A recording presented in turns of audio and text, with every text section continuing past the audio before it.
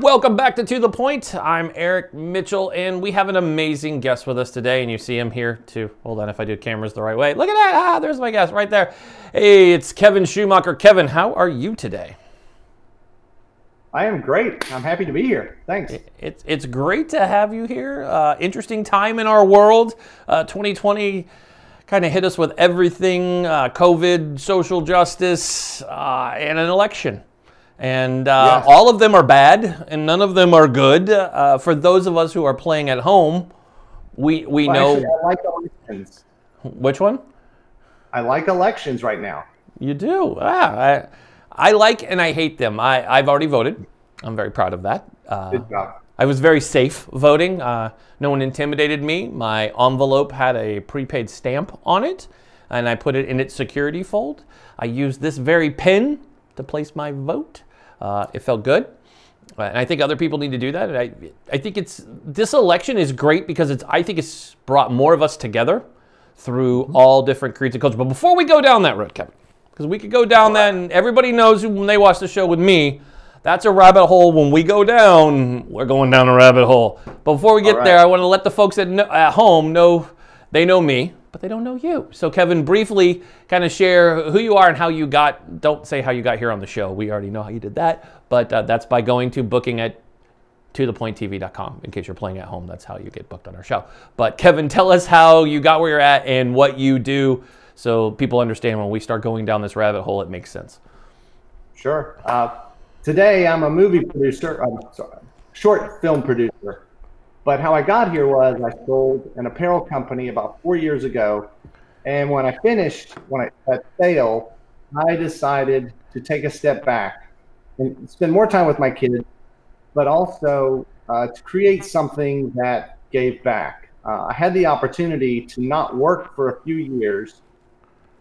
Uh, to, I didn't have to earn money for a few years. So I created the smallest deed, which is based on a quote from John Burroughs the smallest deed is greater than the best intention. And that's because I had dreams and big ideas, but didn't always pursue them. And I was determined that if I had an idea, I was going to pursue it. If I had a friend who needed help, I was going to do that and, and take action because I had the luxury to be able to try those things. And so I created uh, a company called The Smallest Deed. Um, you might like this one of the first things I did was help a friend of mine who'd been deployed to Iraq. His name was Colonel Brian Hernandez, uh, one of the most incredible people I've met in my life so far. And he had uh, a huge platoon of troops that he wanted shirts and apparel for, and I just I did all of that at cost. So I just bought the materials, got printed, and handled all the orders and did that. It was about ironically, two, three weeks worth of work, even though I'd been in the apparel industry. It was very difficult to handle the military specs and everything.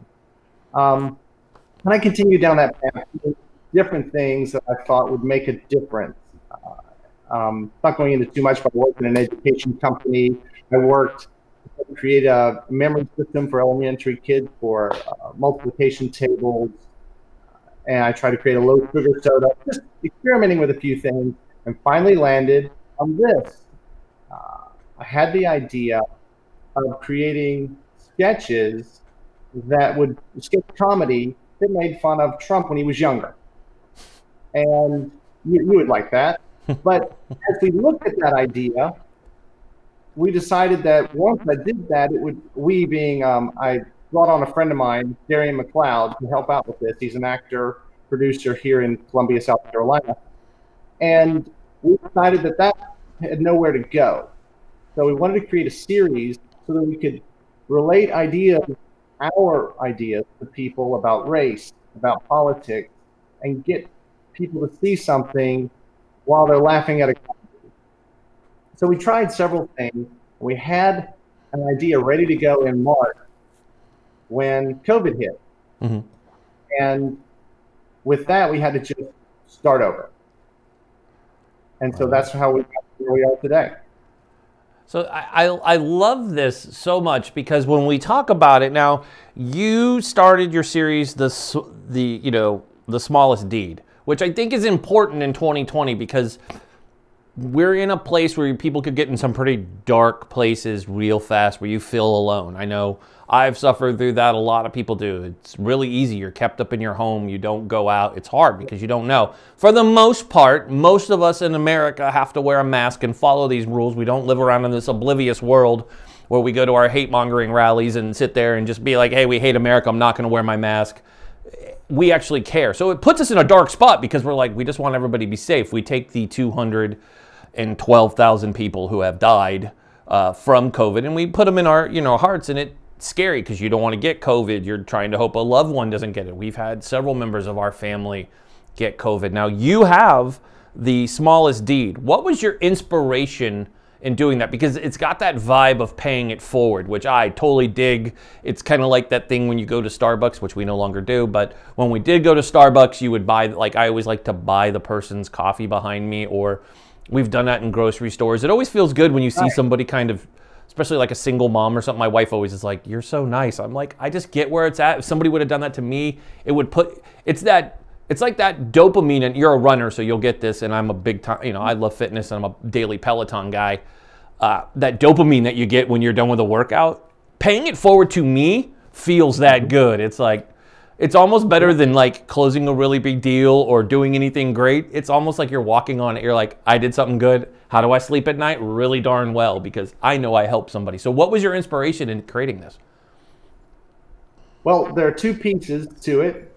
The first is that I'm politically oriented, and I thought that there ought to be something out there that was fun and was trying to make a difference, especially where I'm at in South Carolina. Mm-hmm. But the other part is um, one of my children is African American. And with him, we've experienced moments of uh, racial injustice, let's yeah. say that way. Uh, when he was in aftercare, uh, he uh, after in kindergarten as an aftercare student, he'd never had a problem. In first grade, when a when a new teacher showed up, all of a sudden every week he was in trouble, in trouble, in trouble. And I started bringing complaints about this to the administration of the center. And after several months and a couple of really extreme incidents where they li- he literally picked up my son forcefully and carried him uh, through a bus one time, um, they re- the anyway the administration refused to do anything about it. They said maybe this isn't the right place for your son. And we had been there with my older son and all my kids. I have three kids. All had been there. We've been there for years. Um, that that was a really eye-opening moment of how ingrained some some of this racial prejudice is sometimes. And so I, I woke up to it. I started paying attention and realized that this is a big deal. And the hard part is, is that growing up the way I grew up in the South, white, I don't realize everything. And I was a business school major, so that's even worse, right? So what I have spent the last decade of my life doing is really trying to understand that perspective, especially through my son's life. It's helped a lot. So yeah. in this series that we're creating, it's called Right in the Left Lane. The Smallest Deed is the name of the company. Right in the Left Lane deals with racial injustice and deals with the partisan politics that we have and, and makes it fun and shows a couple of points of view that hopefully people can take home with them and, and make them think a little. I, I love that. I mean, it's I don't love racial injustice, so don't get me wrong. I'm not like I love racial injustice. No, uh, it's unfortunate. You know, South Carolina you know, kind of everybody from the movies. I mean, I grew up in Orlando and drove up. My uh, grandparents lived in Beaufort, South Carolina, so I've spent some time oh, kind yeah. of a little bit of everywhere. Obviously, there's a Marine Corps depot there. Uh, I've heard a lot from my friends who were stationed in South Carolina. I was not. I was stationed in San Diego and Hawaii, so uh, California, we actually understand it's a gigantic melting pot and we're not weird. In Hawaii, well, we're not original there and we stick out as, you know, white dudes with short hair. You know, we're not from there. We're mainland people as it is. So, like, there is no racism there because everybody's there. It's such a, you know, always being around it. But South Carolina, you know, it's been in the news a lot. I mean, uh, number one, probably the my least favorite. Well, there's a list of least favorite Republicans, but Lindsey Graham uh, was doing this very this staged event called the Supreme Court nomination, and I won't go too far into that, but that's an interesting woman. Uh, but he said something where he said he missed like missing the good old days of segregation, right? And the way he said that made you think that they're kind of agree with what you're seeing right in your you know in your backyard. And in South Carolina shouldn't said that. You know, South Carolina is infamous for the start of the Civil War happening, you know, first shot fired from Moultrie to Fort Sumter. I'm a history guy, yes. can you tell? Uh, to see, yes. Yeah, I, have sailed around it. I physically have seen it. Also, for those of you who are history buffs like me, Chief Osceola from the Osceola Indians from out of Florida, where, where the Florida State Seminoles get their name from, Seminole Indians, uh, right. was actually imprisoned at Fort, Fort Moultrie to kind of show you if you want to put it all together, so social justice in our country is interesting during this election, and it's come up a lot. Uh, from the President of the United States gassing peaceful protesters uh, so he can walk across the street and put a Bible upside down and be around white people, and then share out loud in some sort of belief that he has done more for black people than anybody than maybe, I love that, he adds maybe, the man who freed the slaves, eh, he didn't do a lot. Uh, maybe Abraham Lincoln. And now you having a son that has to deal with this, it's disgusting to have to deal with this racism and being, and I'm saying this as a, you know, white dude in his 40s. Hearing about this makes my blood boil that there's people who are so close minded towards this. I mean, growing up, I didn't see a lot of racism. The racism I saw was towards the LGBTQ, LGBTQ See, I say to them all, unlike Tiffany Trump, who doesn't know all of them. Uh, you know, sorry, I'm, I'm going to get my jabs in wherever I can. Yes. Always. We'll get jabs. Hold on. I'll be here all day. Uh, but, you know, that was what we saw growing up, right? It was, you know, AIDS was something that was out there. And then now racism has flared its ugly head again. Uh, and it's scary because I have kids. I have a 16 year old and a 13 year old. My other two in their 20s, and they see it and they don't like it. Obviously, we live in Portland, Oregon, so it's a little different. Uh, I mean, to us, we don't tolerate racism. We hate it. We believe that black lives do matter, that police do need to be reformed. Folks in our show, trust me, we don't have anybody on here who's like, no, all lives matter. We don't put those guests on my show because I laugh at them. Uh, I do. I told them, yeah, it's like all buildings yeah, mattered yeah. on 9 11. So, I mean, where do we, how do we fix this social justice problem? How do we bring attention? Because everybody, there's one side, those of us who seem to have brains believe that there is a problem, Kevin, that there's always been a problem. To go around with a slogan on a hat that says, Make America Great Again, that would be that sometime in our history, America was great. Well, people who have been oppressed, uh, Native Americans in our country, uh, people have been op- oppressed for years. Uh, women voting, we, we, that was a weird thing. Taking, you know, even as the 50s and 60s, people believe women belong in the in the kitchen. Uh, we, right. we saw it at debates two weeks ago, the way that Mike Pence spoke to Kamala Harris and the moderator. We've seen it even during before this debate coming up for the president, where they are attacking this Latino woman because her parents donated to the Democratic Party and they're saying that she's not qualified. Social justice is done right in front of us. The difference is in 2020, we see it. Now, how do we change that? How do we get more people to see our narrative and not go, all lives matter? So, living in South Carolina, I get to hear all of the arguments about why we're wrong. Uh, majority of my peers have a different perspective than we do.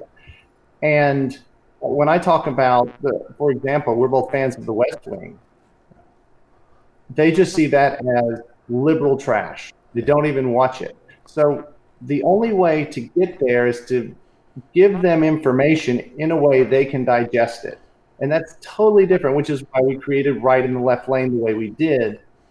It's it's a comedy that deals that has Republicans and Democrats mixed together, and we see some Republican points of view. So that gives them the opportunity to say, yeah, this is funny, I like it. It says some things I don't necessarily agree with, but and if we can show them a few things that they don't necessarily agree with, but it makes them just think a little bit, and we've taken one baby step toward a new idea, a new perspective. And so I, I, I really believe that comedy is one of the ways to do that. There are other people who have different ideas, but this is my my way. So, so Kevin, off of that, kiddingly, I'm I'm saying this, so don't take offense because I know your project drops really soon. Uh, for this, this is something almost out of like cliff notes for like the left and the right to kind of see where we're going. Because don't get me wrong, there's people on the left that I think are crazy. They're, they're just as nuts as the alt right. The alt left is just as nuts. Trust me, they're all here in Portland. All of them are here on both sides. They have gigantic parties here, Sure. and yeah, we get world attention because of it. I mean, for you know, left and you know, left and right. Love the name, by the way. I mean, how do you tell your kids about that? Right? That's obviously you know, having a mixed family is amazing. Yes. I mean, it shouldn't be. I mean, it's weird to say that. I, I just said that for people playing at home so they can go look at your Instagram and, and see that themselves. But I mean, number one, we shouldn't have to a mixed family. I've always hated that, and I came from a divorced family, so that was like a blended family. I don't think anybody needs to say that, and I know even people brought it up, and I've seen some very alt right people not happy with this Supreme Court nominee because her family's mixed too, and they're like, it's it's the way they say it that I still think we have a lot of growth doing. So I think what you're doing is great, but we need to get to a place where people don't need to go. And she has a black son, and it's like, Right. really does that matter because to me at the end of the day it doesn't it's like great she has a family um, that's good for her i'm glad that she has a family it shouldn't be like Psst. She, has a black son in case you didn't notice. I'm like yeah, i can see he's walking right there. I'm cool. I, I'm, I'm not dumb. I, all eyeballs are working. So I mean what do you tell your kids as you're building this? Obviously they know you're doing this. So how do you tell them and how do they respond? I mean they look how old are your kids? I was just stalking you on instagram. Is the only reason why i asked Oh, sure. You have a, a 10 year old, a 12 year old, and an 18 year old. Okay, so obviously they're in the know on what's going on. How do you explain it to them? You've got this production. Here you are. You're doing this. You're very, you and I obviously see eye to eye on everything. Uh, so how do you explain America October 2020? Well, Loaded question. I know. You have kids. You have kids. It's different for each child. Um, my 18 year old and I went to a couple of Black Lives Matter protests, and and were participating in that. It was actually his idea. Um, Julian, who's my uh, African American child, he and I discussed the program because I told him he's part of the inspiration for it. He's the reason I have taken this journey. Um, a little history there. Uh, while we were looking to adopt, when we were given the opportunity to Julian, it was it was a step for me. It was a leap for me to say yes, I want a mixed a mixed racial family. That a lot of people will say, "Oh, no big deal," but it's something we had to think about. It's something I had to think about and say, "Eh, "Should I do this?" And I realized that just my hesitation showed that I wasn't representing, or I wasn't the person that I was representing. Of I'm not racial, I don't see color, and yet here I was hesitating. So I jumped in with both feet, and it's been you know, an amazing experience. And I love my son to death. And then my daughter's ten. Um, she doesn't really understand a lot of this. Mostly, she just gets excited because one of the characters is her name, Sophie. Uh, that, that, that's the number. I love that. That- that- see, they, they all, uh, that's what you got to love about kids. Each one is different. We had that in our house when we voted the other night. Uh, it was it was a weird night. It was almost like Christmas. Like sometimes we put the Christmas story on during Christmas time. We're Yeah. wrapping gifts or doing a tree. We put on the West Wing reunion special that's on HBO. Uh, you you you let it all out. I think everybody knows I'm a huge Yeah. it, it- it's really good. And we watched it and we sat down and i called both my kids down that live in the house and i was like hey guys uh, logan is my 13 year old the youngest in the family and my daughter madison she's 16 uh, she's co-creator of the show by the way. So you know she gets the credit of it. Uh, she, she came up with it uh, in march. We came up with this uh, in tears.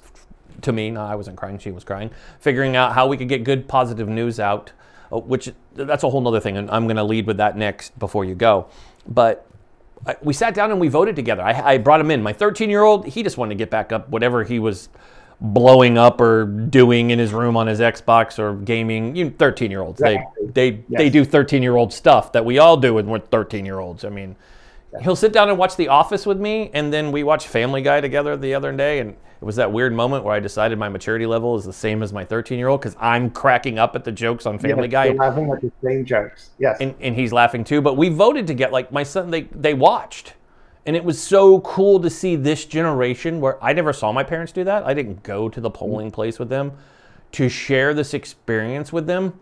is amazing because they've seen this world. They've seen it this year. They see, they hear the frustration. They hear how it polarizes families where people are on one side or the other, where people won't talk to us because the four of us went to a Black Lives Matter protest. My children saw firsthand what racism was when a man drove down the street and called us all dirt bags and, you know, a few other lovely names and then sped off after he flipped us off. Lovely gentleman, by the way. Uh, but, you know, so they got to see that. But at the same time, my children got to see uh, an amazing thing. An African American man was walking down with his family. He had his cell phone out.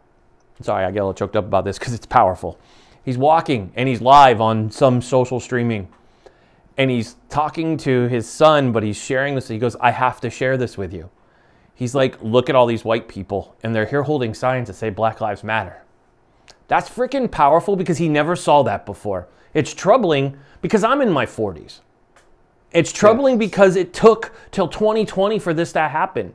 Now, that's my that's my goal in life. I served my country. I love my country. Do I think it's great? Absolutely not. I don't. I'm proud of America because of we're awesome. I'm not proud of the way we treat our own people.